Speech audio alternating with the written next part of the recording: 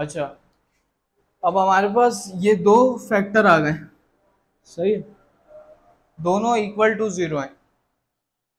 A B is equal to zero इसका मतलब है A is equal to zero और B is equal to zero या इसको ऐसे भी लिख लो ब्रैकेट में लिख लो ए और B plus C equal to zero इसका मतलब है ए इक्वल टू ज़ीरो और B plus C equal to zero अब यहाँ पे क्या हो जाएगा? X plus five equal to zero और x square minus five x plus twenty five equal to zero सही है?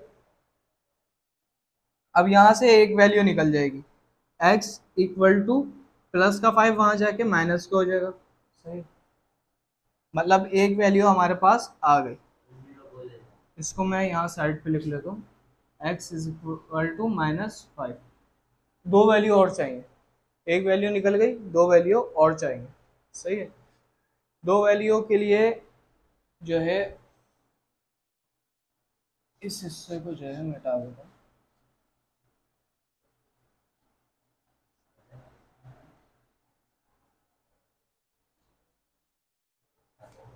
दो वैल्यू और चाहिए, इस वाले पार्ट को इस्तेमाल करेंगे। X square minus five x plus twenty five सही सही है। इसको सॉल्व करेंगे।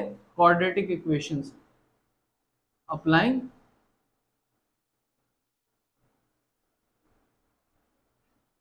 quadratic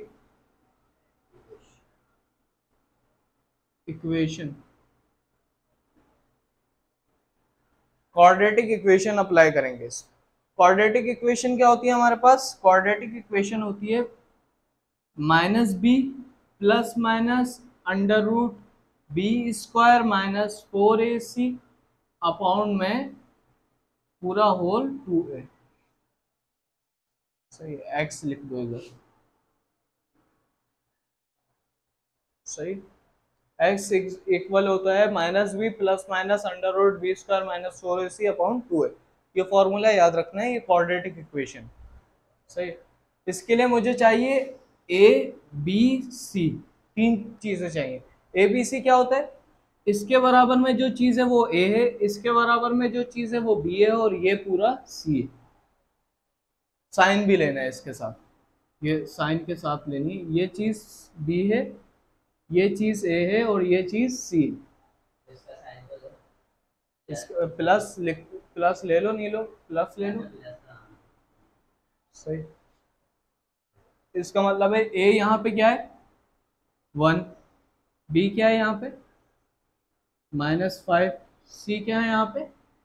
ट्वेंटी फाइव सही, अब इसको यहाँ पे रख देंगे। तो ये हमारे पास हो जाएगी माइनस बी क्या है हमारे पास? Minus five plus minus under root B square minus five का स्क्वायर माइनस फोर ए कितना है हमारे पास? वन सी कितना है? ट्वेंटी फाइव और अपाउंड में टू ए। ए कितना है? वन। यहाँ तक कुछ मसला नहीं। अब माइनस माइनस प्लस हो जाएँगे तो फाइव हो जाएगा। सही। Five plus minus under root five का square twenty five minus four twenty five से कितना हो गया? ट्वेंटी फाइव फोर सा hundred.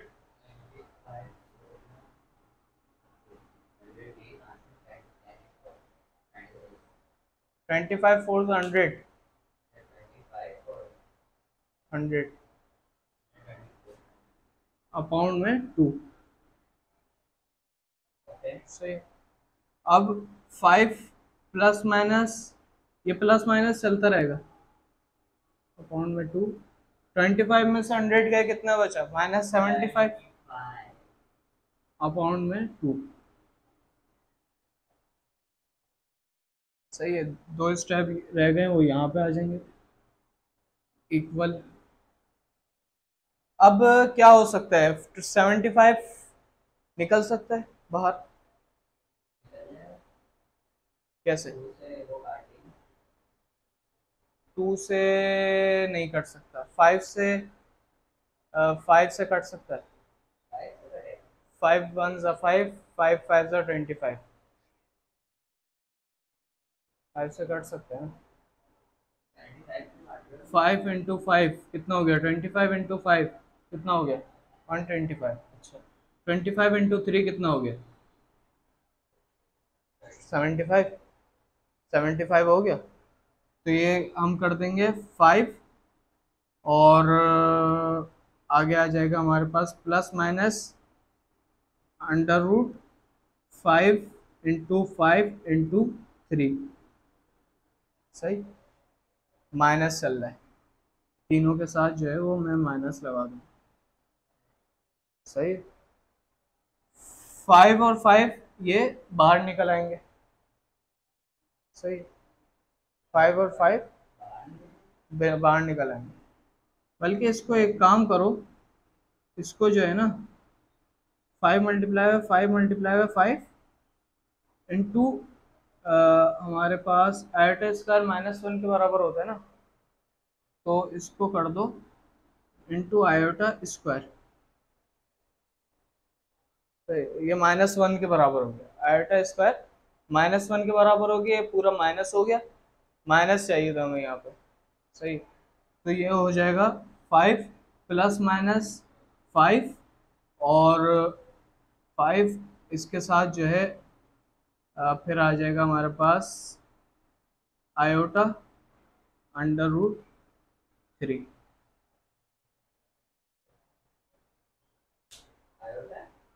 Iota आएगा ना? आयोटा स्क्वायर था, ये बाहर चला जाएगा इसके साथ।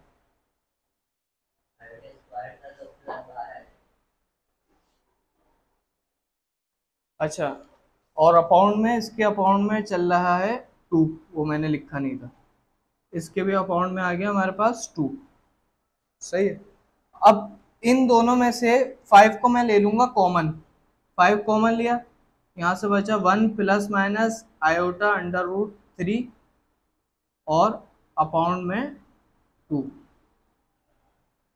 सही है? फाइव कॉमन ले लिया। अब इसको जो है, ये जो वैल्यू होती है ना हमारे पास हमारे पास होता है एक, इसको थोड़ा सा जो है ना वो साइड कर लो।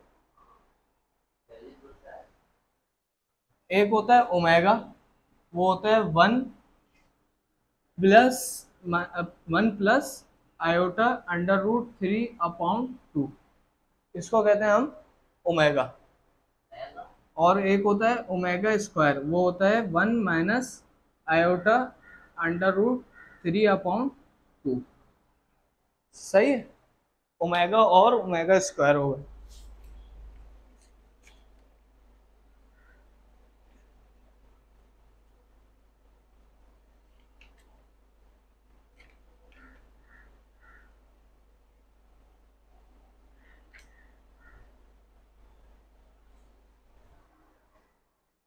सही इसमें जो है ये माइनस भी लग जाता है। माइनस और यहाँ पे भी माइनस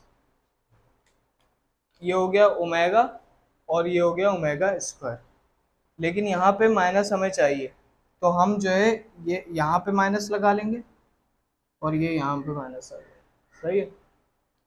इसमें कोई मसला यहाँ तक? माइनस यहाँ पे लगाया ताकि ये ओमेगा बन जाए। ओमेगा बन जाए। सही है? अब इसको जो है ना अलहदा अलहदा करके लिख लो मतलब इसको लिख लो five minus five one one minus one minus plus iota under root three upon two और दूसरी जगह लिखो minus five one minus iota under root three upon two सही। ये हो जाएगा पूरा ओमेगा के बराबर और ये हो जाएगा पूरा ओमेगा स्क्वायर के बराबर। तो ये हो जाएगा माइनस फाइव ओमेगा और ये हो जाएगा माइनस फाइव ओमेगा स्क्वायर तो तीन वैल्यू कौन कौन सी निकल गई? एक minus five minus five omega और माइनस फाइव ओमेगा का स्क्वायर सही है? कुछ भी नहीं करना, पहले क्वेश्चन को जो है एक्स को सपोज़ करना है cube root minus one twenty five का. सही? फिर अप्लाई करना है cube on both side cube apply करेंगे। क्यूब अप्लाई करने के बाद जो है, ये इस तरीके की इक्वेशन बनेगी। यहाँ से वन अपॉइंट थ्री हट जाएगा। सही है? और ये यहाँ पे आके प्लस हो जाएगा। माइनस से प्लस हो जाएगा। अब 125 किसका क्यूब होता है? फाइव का। फाइव का क्यूब होता है तो हमने जो है, इसको सॉल्व किया तो हमारे पास जो है इक्वेशन बनी, जो कि इक्वेशन होती है। इस इक्वेशन से हमने इसको सॉल्व किया। ये हमारे पास कंडीशन बन गई। तो इसमें से एक इसका क्यूब रूट निकल के आ गया। एक क्यूब रूट क्या निकला? ये इक्वल टू ज़ीरो लिया और इसको इक्वल टू ज़ीरो लिया। इसमें से एक क्यूब रूट क्या निकला हमारे पास? माइनस फाइव सही है। अब यहाँ तक का मसला तो बिल्कुल सिंपल है। यहाँ तक तो बिल्कुल सिंपल है। असल चीज़ आ जाती है हमारे पास ये। इसको कैसे सॉल्व करना है? इसको सॉल्व करने के दो तरीके होते हैं। एक तरीका होता है क्वाड्रेटिक इक्वेशन एक होता है फैक्टराइजेशन लेकिन फैक्टराइजेशन से ये सॉल्व नहीं हो सकती. क्यों? क्योंकि इसमें हमें पता है कि इसमें आगे जाके आयोटा आएगा. सही है. फैक्टराइजेशन के इसको सॉल्व नहीं कर सकते.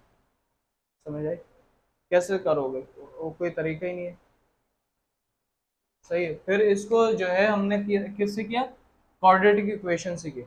क्वाड्रेटिक इक्वेशन हमारे पास होती ही है minus B plus minus under root B square minus four A C upon two है तो इसमें ए, बी, सी हमें चाहिए। ए यहाँ से निकला, बी ये रहा, इसके साथ जो है सी ये रहा। तो ए, बी, सी रख लिया हमने इक्वेशन के अंदर। इक्वेशन के अंदर रखे तो हमारे पास जो है ये बन के आया, ट्वेंटी फाइव माइनस हंड्रेड, ये सेवेंटी फाइव हो गया, अपॉन टू। सही है? तो अब जो है, अब मसला यहाँ तक हल हो गया। अब हमें जो है इसको सॉल्व करना है अंदर वाली। अंदर वाली को सॉल्व किया तो हमारे पास फाइव इंटू फाइव और इंटू थ्री आया। हमने आयोटा स्क्वायर अलग से ऐड किया। आयोटा स्क्वायर इसलिए ऐड किया क्योंकि यहाँ पे माइनस है। इस माइनस को भी हमें बराबर करना है। तो आयोटा स्क्वायर किसके बराबर होता है? माइनस वन के। वन को हम देखते नहीं है माइनस हमें चाहिएगा। सही है। हमने माइनस की जगह लगा दिया, हमने आयोटा स्क्वायर सही है तो ये बराबर हो गई। फाइव दो फाइव है, दो फाइव बाहर निकल जाएँगे और आयोटा स्क्वायर है मतलब आयोटा इंटू आयोटा है, दो आयोटा भी है तो ये दो आयोटा भी बाहर निकल जाएँगे। सही फाइव आयोटा निकल के बाहर, अंदर बचा अंडर रूट थ्री अब यहाँ तक का भी मसला हल हो गया, सही है, लेकिन एक चीज़ है हमें इसको सिंपलेस्ट फॉर्म में करना है। वैसे तो आंसर ऐसे भी लिख सकते हैं, कोई मसला नहीं है, लेकिन सिंपल फॉर्म में करना है तो ओमेगा और ओमेगा स्क्वायर होते हैं हमारे पास। ओमेगा बराबर होता है हमारे पास minus one plus iota under root three upon two और omega square minus one minus iota under root three upon two इसके बराबर होता है। तो हमने ये किया कि इन दोनों में से फाइव को कॉमन ले लिया ऊपर में से। सही है? फाइव के साथ माइनस लगा दिया। माइनस लगा दिया तो ये भी माइनस हो गया। क्योंकि यहाँ माइनस लगेगा तो यहाँ ऑटोमेटिकली माइनस लगेगा। सही? यहाँ पे minus minus, plus, minus minus, plus. सही? है इसको बराबर करने के लिए जो है वो माइनस लगाया। माइनस माइनस, प्लस हो गया। सही? है तो ये माइनस फाइव लगाया, फिर ये इक्वेशन हमारे पास ऐसे बन गई। अब हमने इसको सेपरेट लिख लिया। प्लस, माइनस है पहली इक्वेशन प्लस में लिख ली, फिर लिख ली माइनस में। ये पूरा जो है बराबर हो गया ओमेगा स्क्वायर के और ये पूरा बराबर हो गया ओमेगा के। तो माइनस फाइव ओमेगा और माइनस फाइव ओमेगा स्क्वायर। यह आया हमारे पास। फिर एक पहली क्या निकली थी हमारे पास? माइनस फाइव, फिर निकली माइनस फाइव ओमेगा, फिर निकली माइनस फाइव ओमेगा स्क्वायर। सही है? फिर